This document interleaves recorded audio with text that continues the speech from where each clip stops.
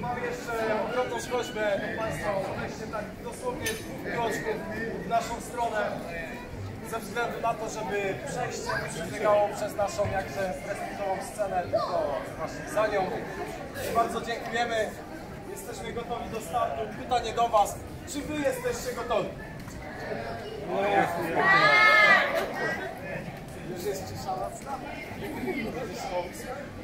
Dobra, to może przeprowadźmy jeszcze ostateczną próbę generalną. Czy jesteście gotowi? Kontynuować